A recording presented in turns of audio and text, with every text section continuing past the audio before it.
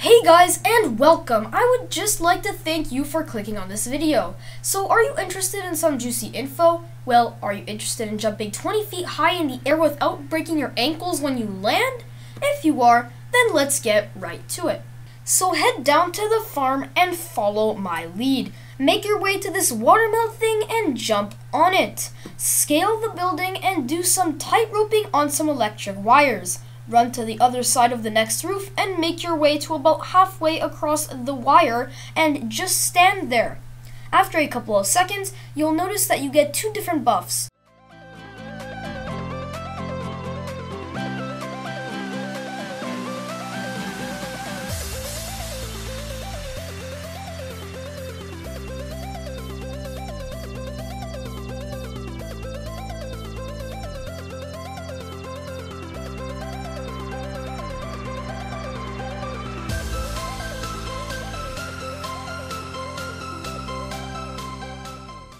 Here are the two buffs that you have to obtain in order to proceed, Sentry Ranks times 2 and Vertigo completed. After that, drop down and head back to the watermill.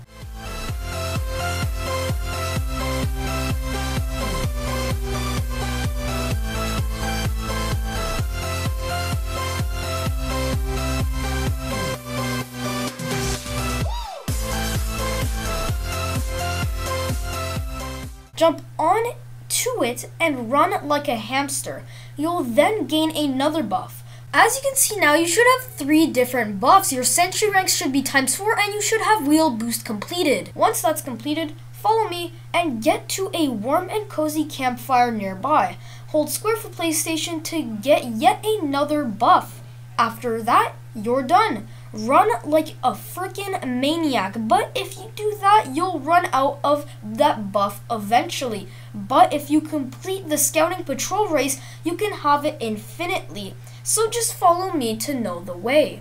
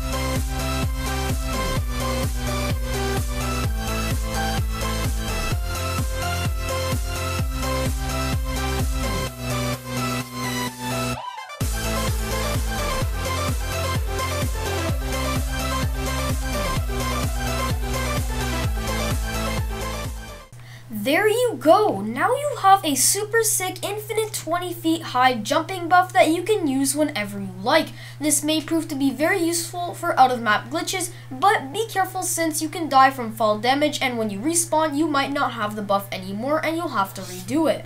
There is one more thing that I would like to mention is that your buffs go away when you complete the race and they swap out for one ultimate buff called Scouting Commander. And the different auras that are around you are part of the buff.